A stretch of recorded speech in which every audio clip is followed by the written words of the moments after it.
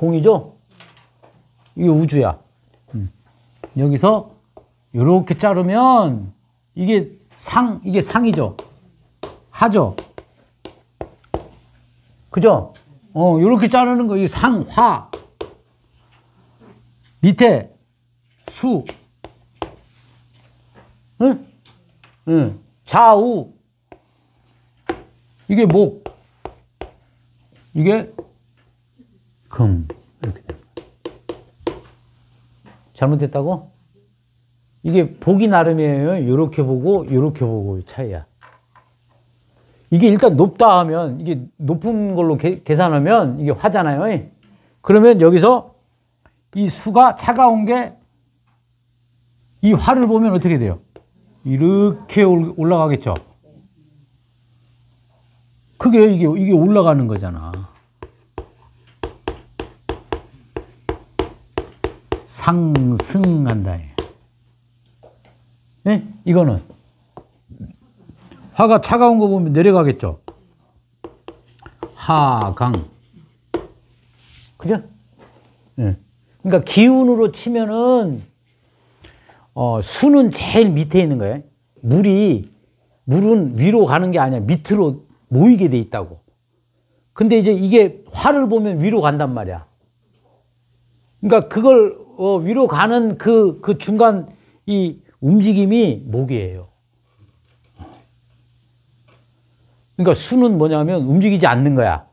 여러분, 고정된 거잖아. 우리가 명상 같은 걸 하잖아요. 그러면, 하, 해가지고 꿈쩍도 안 하는 거야. 그게 수의 단계라고. 그 꿈쩍 아주 고요해진 단계가 수의 단계고, 처음부터 고요해지진 않잖아. 막 화해서 이제 릴렉스 하는 거지. 이게 금이라고. 응. 그게 금에서 오래되면 어떻게 돼요? 오래되면 수가 되는 거라고. 그러니까 뭔가 상기하는 거예요. 우리가 일어나는 거 있잖아요. 일어나는 거. 자는 거. 자는 거는 수의 세계야. 안 보이는 세계죠. 근데 딱 깨잖아. 깨니까 일어나잖아요. 그게 밝으니까 깨는 거요. 화가 생기니까 내가 깬 거야. 깨서 깨면 어떻게 돼요? 일어나죠. 그게 목이야. 그러니까 일어난다는 건 무슨 뜻이에요? 움직인다는 뜻이잖아. 어, 그래서 목은 움직이는 거야. 그래서 그 움직이는 것을 어, 생명이라고 그래요. 살아있는 거. 오케이? 죽어 있는 거는 금이란 말이야, 금. 서서히 죽어가는 거야. 서서히 기운을 잃어가는 거고, 서서히 조용해지는 거고, 음, 그런 거예요. 일어나서 막 뛰다가 이제 늙어가고 이제 죽는 거예요. 다시 태어나고 윤회잖아 이게. 그러니까 우리가 여러분들 윤회가 있어요 없어요? 하, 넌센스야 여러분. 죽으면 끝이 아니잖아 이거 봐봐.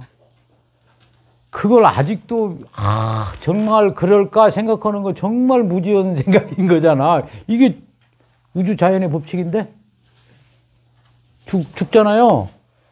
어떻게? 다시 태어나잖아. 여러분들 겨울에 이렇게 팍 저 나무만 쳐다보면 만약에 내가 사계절을 몰라.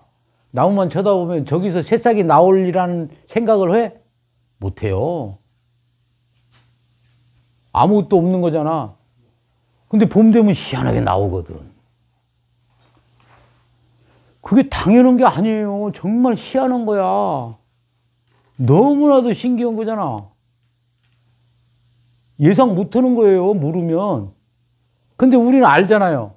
경험 오니까 안, 아니까 이게 당연한 거야.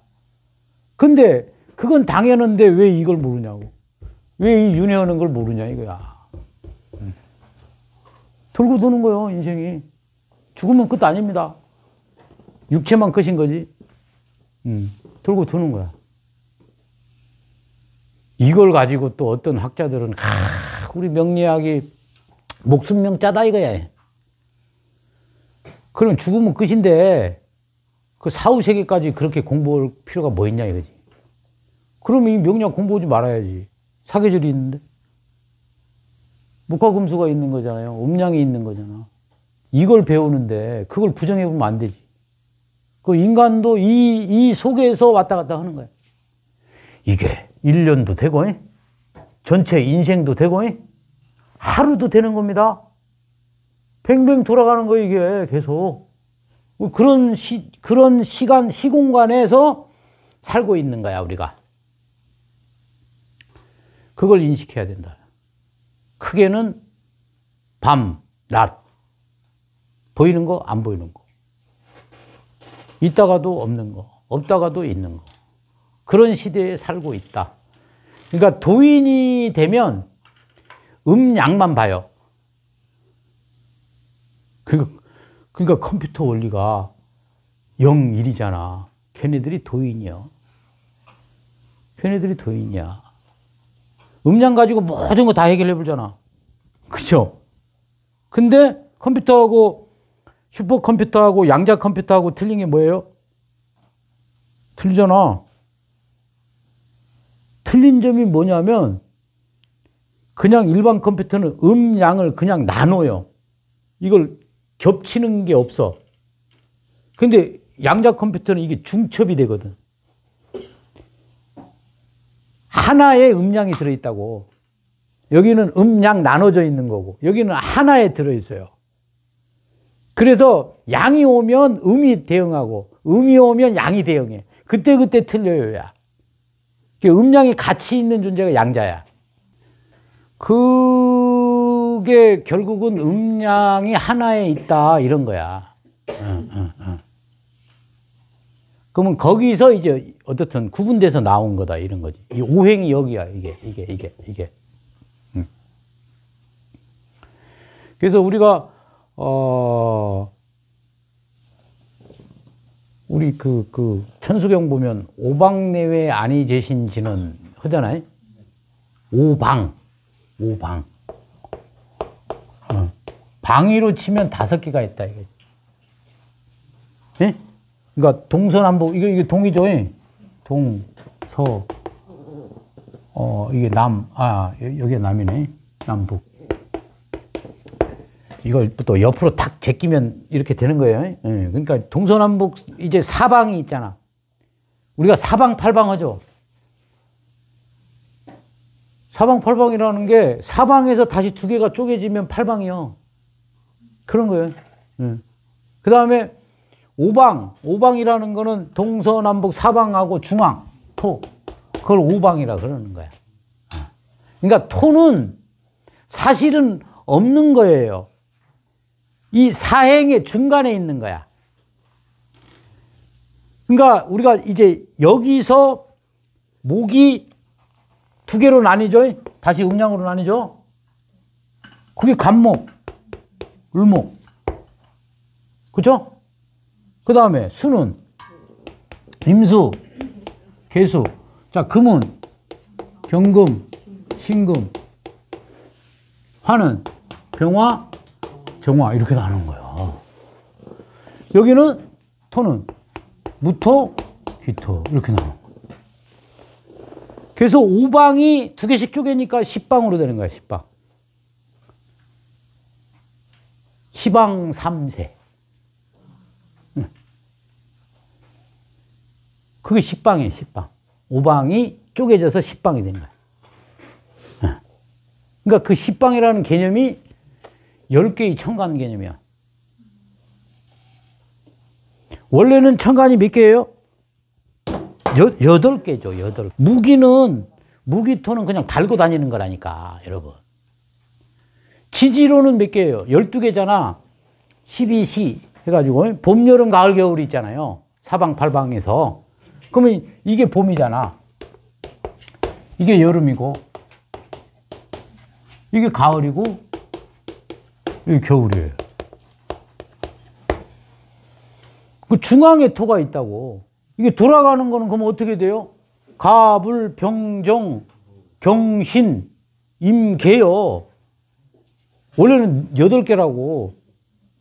근데 중앙에 무기토가 있으니까 열 개다 이렇게 하는 거야. 그러면 이제 가불, 병정, 무기, 경신 이렇게 임계 이러잖아요. 근데 무기는 따로 놔야 돼. 음. 이제 그, 그 이제 생의 원리를 이제 공부하면 알겠지만, 그러니까 원래는 여덟 개야. 근데 이제 그 두 개가 이제 그 약방의 감초처럼 있어, 있어서 열 개라고 하는 거예요. 어. 그러니까 2, 4, 8, 16 이렇게 가는 거예요. 그럼 여러분 이게 예불러다 보면 그런 거다 나와. 예? 10대 제자, 16성, 500성, 독수성, 1200 제대 아라한. 이 숫자들이 다, 그, 그, 다 의미가 있다니까. 8에서 이분화되면 16개가 되는 거죠. 10대 제자, 천간이야, 10천간이야. 어. 1200 제대하 12개. 12지지. 숫자가 그렇게 한다고. 그러니까 우리가 어, 10천간 12지지는 그런 논리가 있다는 거야. 5장 6부 이러잖아요. 5장이 그게 5행이야.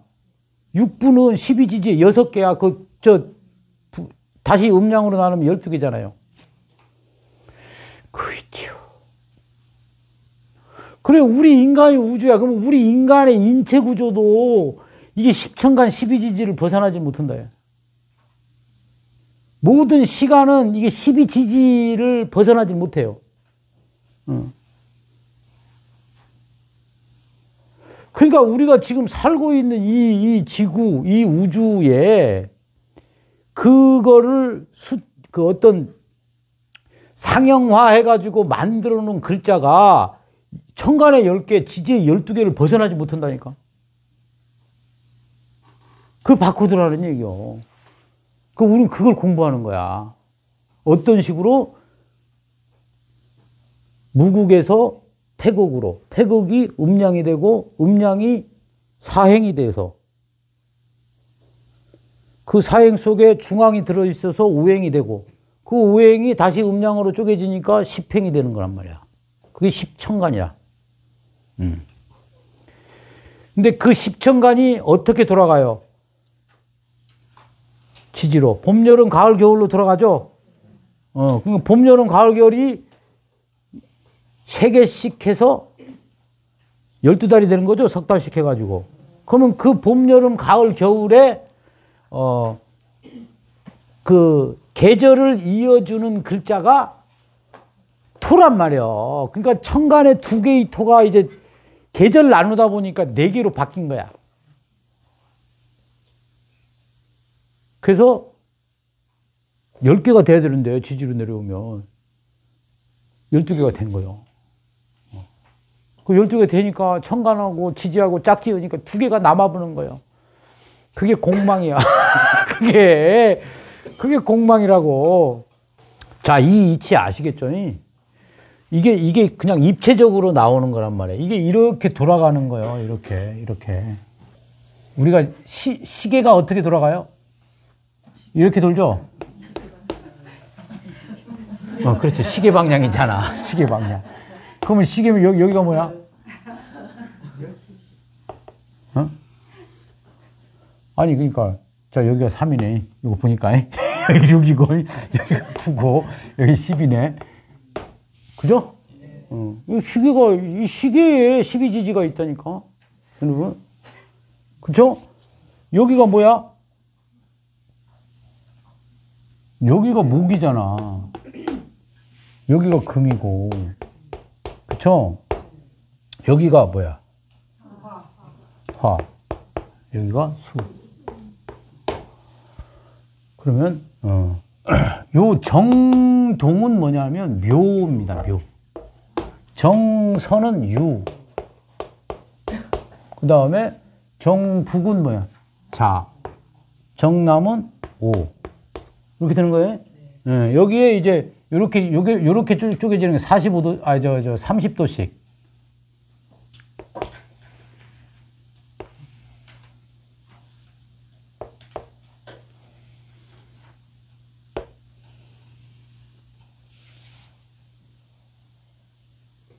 이거 이해 못해?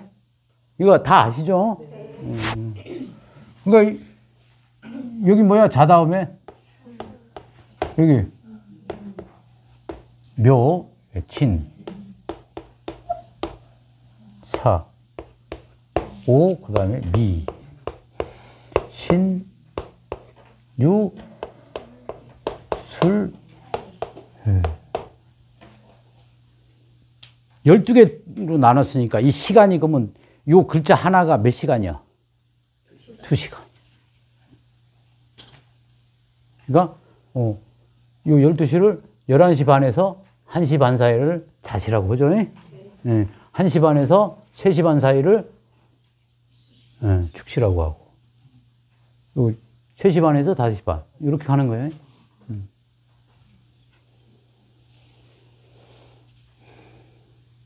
그래서 이게 뭐냐면 사실은 천간으로 비유를 하자면, 천간에 있는 글자로 비유를 하자면 이게 간목이야. 이건 아시죠? 네. 모르실 수도 있어. 요건 을목이야. 그죠? 어, 이거는 이제 성관을 무토를 닮았어요. 음, 이거는 병화. 그죠? 이거는 정화. 요거는 기토를 닮았죠. 예. 요거는 경금. 요거는 신금. 요거는 무토를 닮은 거지. 예. 이거는 임수. 이거는 계수. 이거예요. 그러니까 음, 결국은 요거 공부하려고 우리가 있는 거예요. 이게 뭐? 10천간 10개, 12지지 12개. 네. 이거는 세상의 모든 법칙에 다, 다 통용되는 거야. 이, 이런 게 진리예요, 이게. 과학으로 F는 MA, 이런 거 같은 거야. 법칙이야, 이게. 그러니까 우리가 이걸 공부하는 거야. 이 속에 아주 막 별의별 게다 있으니까. 막 합도 되고, 막 충도 되고, 막. 그 다음에 여기 계절이 있죠. 시간이 있죠. 공간이 있죠. 여기 안에 다 있다. 그 이거를 공부하는 거예요. 그래서 저번 시간에 음량을 공부했죠. 그 다음에 오행을 이번 시간에 공부하는데 이 오행은 요런 데 배속이 돼 있다. 이렇게. 어디 갔어? 어, 수. 여기. 이게, 그, 이 목은 이제 가불목이다. 가불목이다. 그 다음에, 자, 인묘진을, 요 세 개를 뭐라고 해요? 음. 그죠? 4, 5, 미를 여름.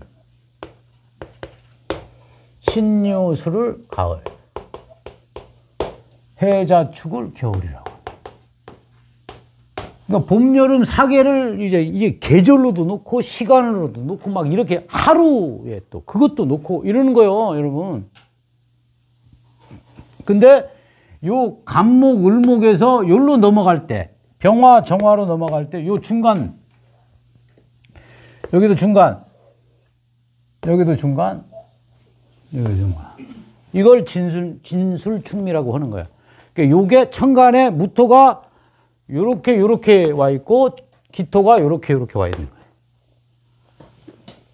참고로 아 무토는 아 기토는 온도를 조절하는 성분입니다. 여기 추울 때. 춥토. 더울 때. 히토.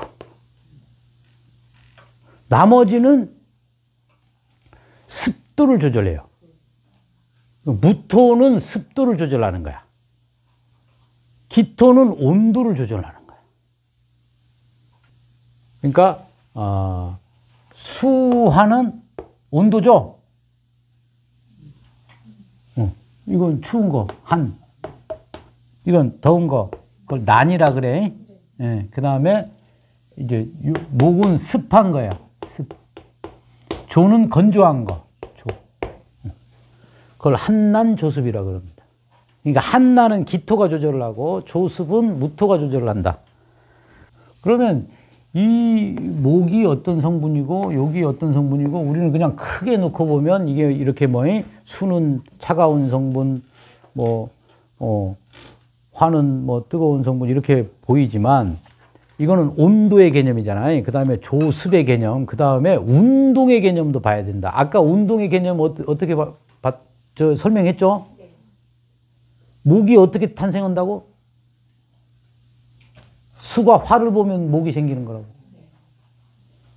금은 어떻게 생긴다고? 화가 수를 봐야 금이 생겨. 자연스러운 겁니다. 그러니까 수화가 있으니까 목화가 생긴 거야. 상하가 있으니까 좌우가 생긴 거예요. 그러니까 모든 것은 수화의 작용이다. 그게 음량의 작용이다. 그 음량의 작용을 하다 보니까 다시 어, 목금이 생긴 거다 이런 거지. 그래서 네 개로 나온 거다 이렇게 보셔야 된다. 그러면 우리가 어, 우리 인간은 어떤 거야? 이 목화금수로 보면. 뭘 닮았어요, 우리 인간은? 그러니까 우리가 탁 생각하면 나무로 닮은 거잖아. 살아 있으니까. 그럼 죽으면 금이네. 그죠? 우리가 오래되면 나이로 치면은 이제 막 이제 큰 게 뭐예요? 목이잖아요. 어, 그 다음에 청년, 막 20대 뭐 화잖아요. 40대, 뭐 50대 되면 금. 죽을 때 되면 수. 그렇게 되는 겁니다, 이게. 그렇게 돌아가는 거예요. 그러니까 사람의 모습이 나이에 따라 바뀌죠. 그러니까 이제 막 태어났네, 막, 막 컸네, 막 푸르른 거잖아. 그게 봄을 닮았다는 거야. 젊은 애들이겠죠? 그럼 사주에 목이 많으면 젊은 성향이겠죠? 그걸 어떻게 설명을 하냐면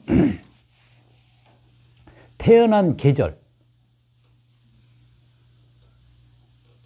한번 여러분이 상상을 해봐 내가 봄에 태어났다 늙고 싶어? 환경이 막 젊은 환경이잖아 그죠? 늙은 사람도 젊어지겠죠 그런 거예요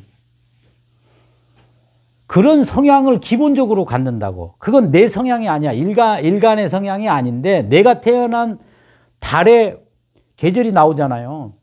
그 계절에 따라 내가 성향이 어떻게 돼요? 바뀔 수도 있는 게 있죠. 근데 그게 전부는 아니야. 만약에 내가 추운 겨울에, 겨울에 있는 시베리아에 사는 사람의 성격하고 저기 아프리카에 있는 사람의 성격하고 좀 틀리잖아. 그건 어떤 성격이에요? 환경에 따른 성격이잖아. 여러분 그것도 굉장히 중요하다는 거예요. 십성이 그런 거야, 십성이. 내가 태어나가지고 어떤 사람을 만나면서 그런 사람들하고 이렇게 소통하면서 생, 형성되는 성격이거든, 그게 십성이. 오행의 성격이 아니야, 그게. 내 본질적인 성격은 오행의 성격이고. 그러니까 그런 오행적 성향들이 있는 거예요. 그러면 이제 그걸 청간의 성향이라고 하는 거예요. 이제 그런 거 하나씩 하나씩 다 배우는데 외장하대 다 있어요. 근데 외장하드에 없는 것을 이제 강의를 조금씩 할 거야. 좀 그동안 강의했는데 내가 미처 못한 거, 좀 보충해야 되는 거, 그동안 강의하면서 몰랐던 거, 내가. 나도 배우잖아. 여러분, 저도 맨날 배워요. 어. 그런 거 강의해 주는 거예요. 그러니까 늘 똑같을 수는 없는 거야. 반복하면서 조금씩 조금씩 새로운 걸 얻어가야 돼. 음.